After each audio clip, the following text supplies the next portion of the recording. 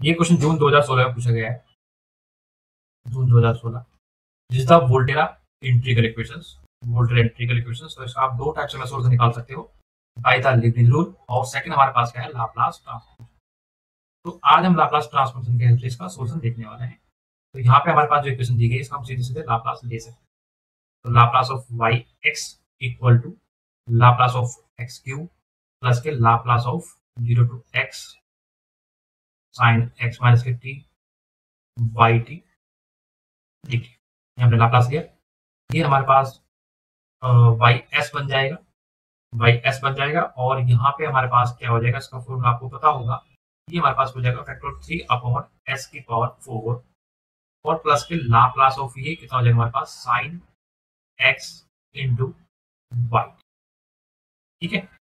अब factor three upon S four plus के Laplace of sine X कितना होता है? ये आप मुझे बताएँगे। लाप्लास ऑफ़ साइन एक्स होता है हमारे पास one plus K X square plus K one ये फॉर्मूला आपको पता होने चाहिए बेसिक ये हमारे पास क्या जाएगा? वाई एक्स हो जाएगा। और ये वाई एक्स पहले से ही है तो वाई एक्स हम एक साइड में ले जाते हैं। तो हमारे पास क्या जाएगा? वन माइनस के एक्स स्क्वायर प्लस के one equal to factorial three upon कितना हो जाएगा? एक्स की पावर फोर हो जाएगा। अब इसको सिंपली राइट साइड में लेके जाते हैं। तो ये क्या हो जाएगा? हमारे पास वाई एक्स एक्स की power four two plus one minus के वन और ये हो जाएगा हमारे पास फैक्टर थ्री कितना होता है? सिक्स होता है।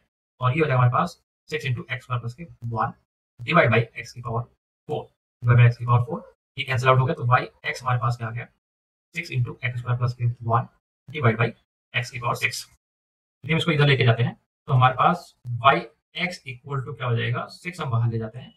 ये हो जाएगा वन अपॉन एक्स की power four plus k one upon x की पावर सिक्स यदि हम यहाँ पे इनवर्स लेते हैं इनवर्स इनवर्स लेना पड़ेगा हमें तो वाई एक्स हमारे पास क्या जाएगा।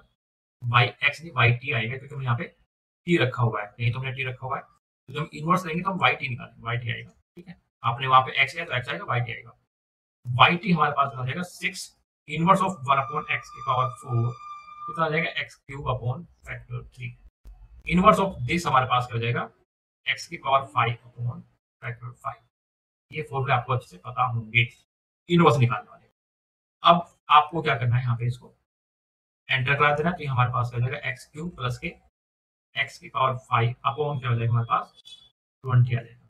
तो दिस वाई एक्स लिख लेते हैं यहाँ पे यहाँ पे एक्स में पुट किया हुआ है, ये पर आप इसको रिप्लेस कर दो, ठीक है। मैंने आपको पहले बोला है कि जो हम लाप्लास ले रहे हैं, उसी हिसाब से हम चलने वाले ठीक है? तो यहाँ पे हमारे पास क्या आ जाएगा?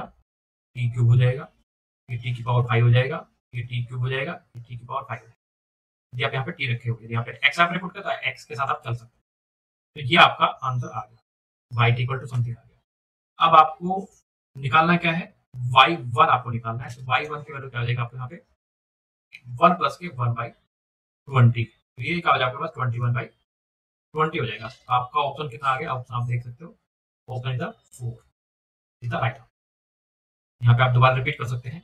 सिर्फ़ आपको लाप्लास लेना है, जब भी आपका कर्नल जो है एक्स माइनस टी का टाइप का दिया हो, और जो हमारे पास इक्वेशन वोल्टेज इक्वेशन होती है तो हम उसका सोल्यूशन लाप्लास की हेल्प से निकाल सकते हैं।